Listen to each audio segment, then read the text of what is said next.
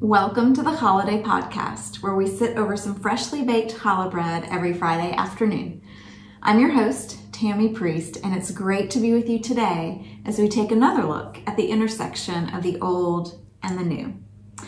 I hope you were able to join us last week when we uh, talked about the last and greatest day of the Feast of Tabernacles or Booths. It was a strong reminder for me in the midst of these very crazy days that God is my only true and good sustainer, protector, and king. And honestly, as we approach November, it's a reminder that I may need God to give me every day. In fact, with all the craziness in Washington right now, maybe we should throw another idea into the mix. One that would keep us grounded a bit. What if we established a national holiday to celebrate the Bible? Everyone would get the day off from work and we could sing and worship and parade around with our Bibles. Now, I know that's a clear violation of the separation of church and state. I majored in American government. I promise Mr. Sabato that I am not really advocating for that. Um, I'm just kidding. But the reality is, um, I'm just kidding because this holiday already exists. There already is a national holiday to celebrate God's Word. Yankees celebrate it just as heartily as Southerners. So do Midwesterners and Californians, even Europeans and Australians and especially Israelis. See, every year when the Feast of Booths ends, the nation of Israel, both the literal and the global spiritual nation, celebrates Simchat Torah, which literally means joy of Torah. And Torah refers to the first five books of Scripture, Genesis through Deuteronomy. And it takes place as sort of this finale at the end of the Feast of Booths. So it was actually last weekend. But since a lot of non Jews don't know about Simchat Torah, I thought it would be fun to share about it with you today. In fact, you may have noticed that the challah today looks a little different than usual. I tried to make it look like a Torah scroll if you're listening to the audio podcast, you can't see it, but really that's okay because it didn't turn out that great. Uh, you definitely have to use your imagination to see that this is supposed to be a scroll. Next time I will practice first. Oh well. But I love this holiday and thought I'd try something special. So it'll still taste great, right? Um, anyway, the heart of the Simchat Torah celebration is when rabbis take out the scrolls and lead a parade around the sanctuary inside seven times, Jericho style. And this first happens during the evening service, um, which let me take a brief detour for a second. Um, sometimes Christians get confused when they see the dates of Jewish holidays, when they see something as a one day holiday, but their calendar lists two dates. Or the calendar very helpfully says Simchas Torah begins at sundown. So, why do we do this? Well, in Judaism, each day actually begins in the evening, not the morning. And the reason is found in the creation account. So, as Moses retells God's creation work, he says, There was evening and there was morning the first day. There was evening and there was morning the second day.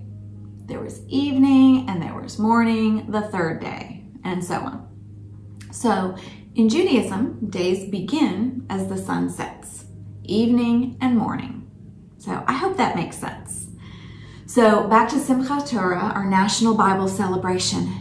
Um, during the evening service at the beginning of the holiday, the rabbi leads this parade carrying the Torah scrolls, you know, seven laps around the sanctuary, like I said, Jericho style and the congregation follows behind, singing and dancing just wholeheartedly. In some congregations, everyone gets their own turn to carry a scroll for a little while, which is really cool.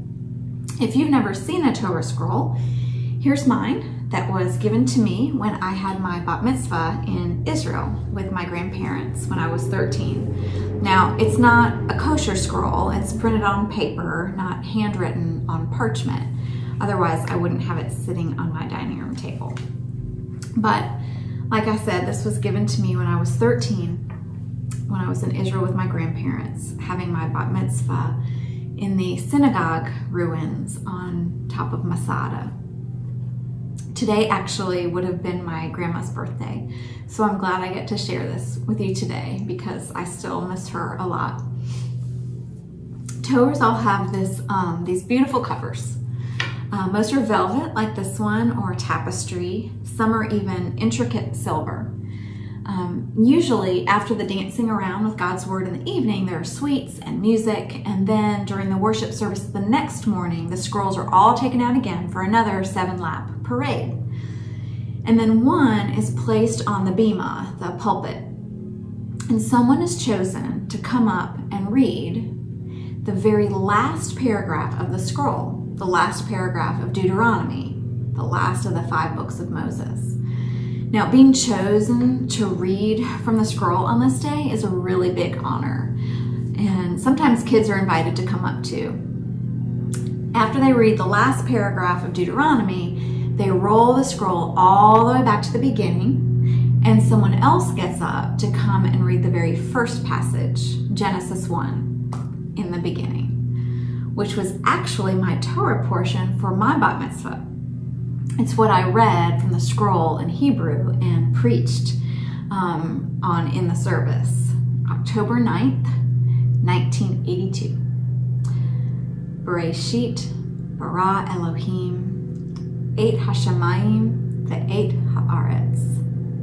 In the beginning, God created the heavens and the earth. anyway, what this means is that every single year every single congregation completes an annual read through the Bible in a year plan. The prophets and the writings are also split into readings along with the Torah portions. Um, this this um, annual reading plan actually began during the exile in Babylon, so a long time ago.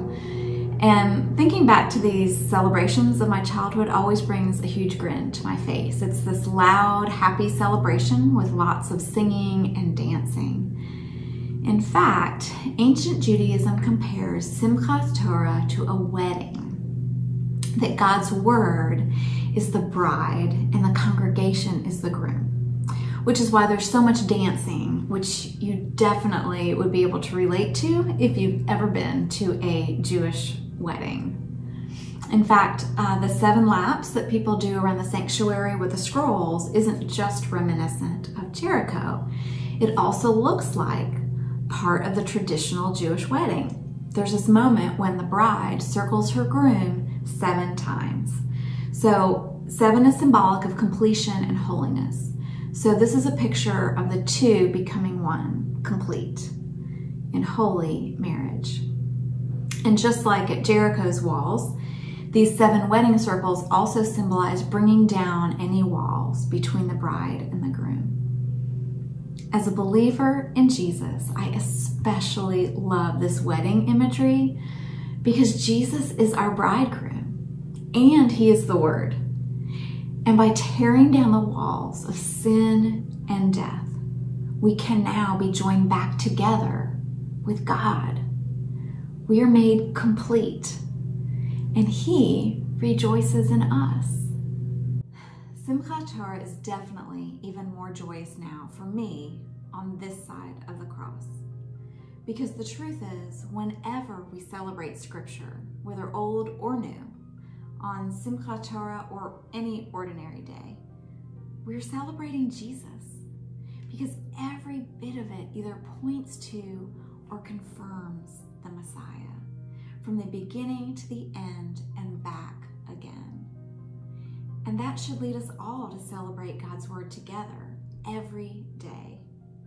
And not just with quiet nods of approval, you know, from the pew, but with joyful praise and acclamation. So as we end our time together today and get ready to celebrate the Sabbath this weekend, I pray that we would all have a renewed excitement and gratefulness that Jesus came to dwell among us as the Word, the Torah scroll, made flesh, showing us what it really looks like to love God and to love our neighbors.